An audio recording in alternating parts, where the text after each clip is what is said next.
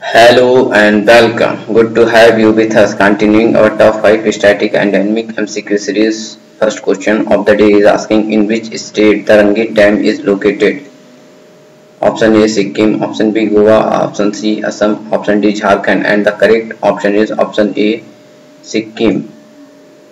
Moving to our second question, consider the following statements with reference to State Election Commission. First statement, it is the constitutional body mentioned under Article 243k of the Indian Constitution. Yet, yes, it is correctly spelled.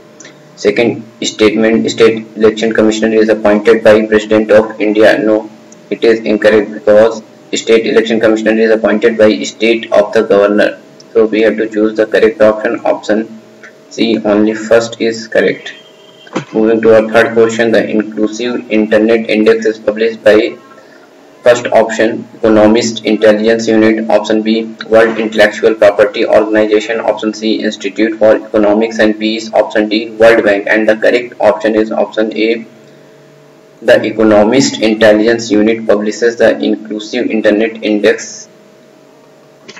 Moving to our fourth question, Consider the following statements regarding the Foreign Contribution Regulation Act 2010. First statement, the Act regulates, regulates the acceptance and utilization of foreign contribution or foreign hospitality by certain individuals or associations or companies. Yes, it is correct. Second statement, it comes under direct control of Ministry of Foreign Affairs. No, it is incorrect because it comes under direct control of Ministry of Home Affairs.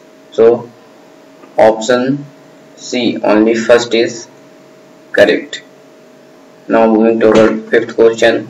Lectures from Colombo to Almora is authored by option A Dadabhai Naroji, option B Lala Lajpat Rai, option C Swami Vivekanand, option D Rabindranath Tagore and the correct option is option C Swami, Swami Vivekanand authored the book Lectures from Colombo to Almora. Thanks to all viewers and subscribers of our Last Mile Approach YouTube channel. Please like, share, subscribe and support our initiative.